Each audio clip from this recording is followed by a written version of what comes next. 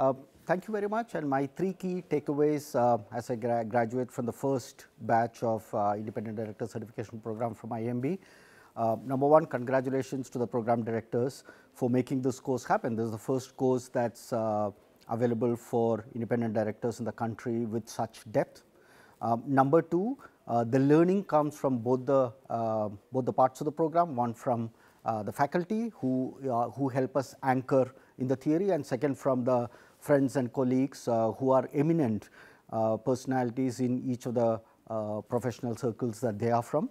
Um, and third, this is this course is so unique that it gave us insight into the real life of the board of directors uh, what really happens in those situations. The case studies and the examples provided all through the course was a phenomenal exposure to learn about the long horizon in which the board of directors need to think before they uh, make any decision.